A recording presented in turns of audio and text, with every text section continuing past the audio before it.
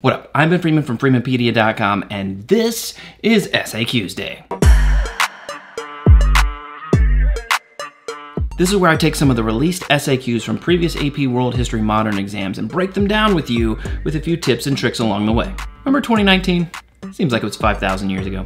Anyway, today's SAQ is from the 2019 exam. It was the first SAQ on the exam, which means it's mandatory. Rule number one, focus the lens.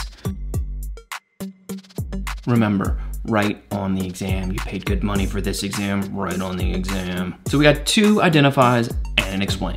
Nice. For A, one cultural exchange. So this essay is all about uh, nomads and non-nomads, specifically nomads, people who are wandering around following animals, that kind of stuff, and sedentary societies, people that are, you know, staying around farming, that kind of stuff. Okay, so what's one cultural exchange between nomads and non-nomads that occurred before 1450? So one cultural exchange. I'm looking for a cultural exchange. That's what I need, a cultural exchange. A wants me to identify a cultural exchange. B, one development that changed nomads' roles. So one development that changed the role Central Asian nomads played in the cross-regional exchanges as described in the passage, which we'll get to in a second. So I need something that changed their role. They were one way, now they're another way. That's what I'm looking for. So I need an example of an exchange, I need a way that the role of the nomads changed. And then for letter C, and this one has some pre-underlining, look at that. It's pretty fancy College Board. They went right in there and went right underneath for you so you don't have to do it. Explain one cross-cultural exchange that would challenge an assertion in the last sentence of the passage. Oh, I love this when they're like, what about this paragraph or this passage?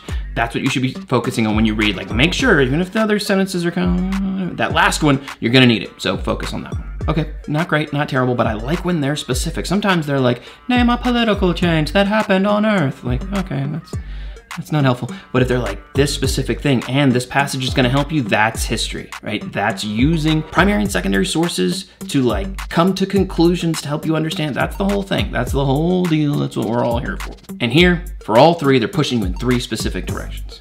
All right, now we can check the stimulus.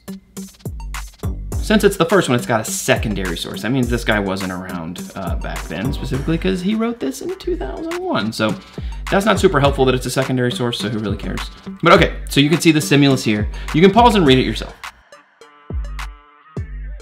Okay, so if you didn't read it, he's basically saying Central Asian nomads have helped spread culture around. He's focusing specifically on culture here, and we know, because we focused our lens earlier, that letter C was obsessed with the last sentence. So nomads are spreading culture around, and the last sentence says this, but as we have seen, pastoral nomads were the chief initiators, the main initiators, main promoters, chief agents of this exchange between East and West. All right, so we focused our lens on the prompt and we checked out the stimulus. Let's do the damn thing. The letter A, right off the bat, culture. Culture is a massive term. It can really include almost anything.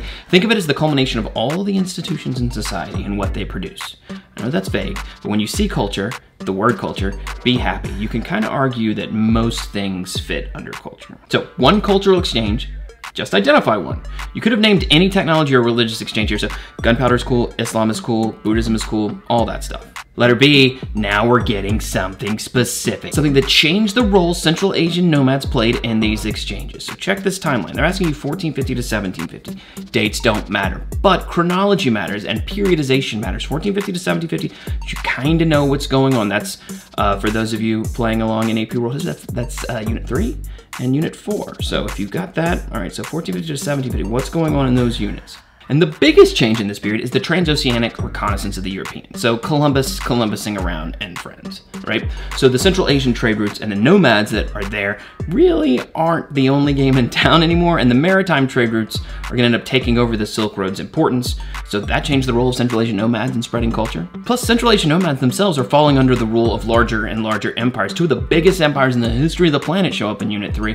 I'm talking about Russia. I'm talking about the Manchu Qing dynasty in China. So the days of the big, scary Mongol types that are out there and they're gonna come, you're really under the rule of one of these empires. Letter C, let's look back at that last sentence one more time. Pastoral nomads were the chief initiators, promoters, and agents of this exchange between East and West. So it's the pastoral nomads who were doing all of this. So explain a cross-cultural exchange that challenges this. Basically, what is something that the pastoral nomads weren't the primary agents of change for, weren't the main ones doing?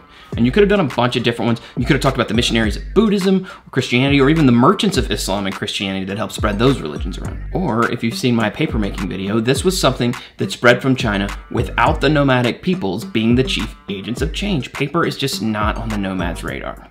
All right, that was the 2019 Nomads SAQ. Next up, we head to China. We always seemingly head to China to check out some continuities. But for that, you'll have to wait until the next SAQs day.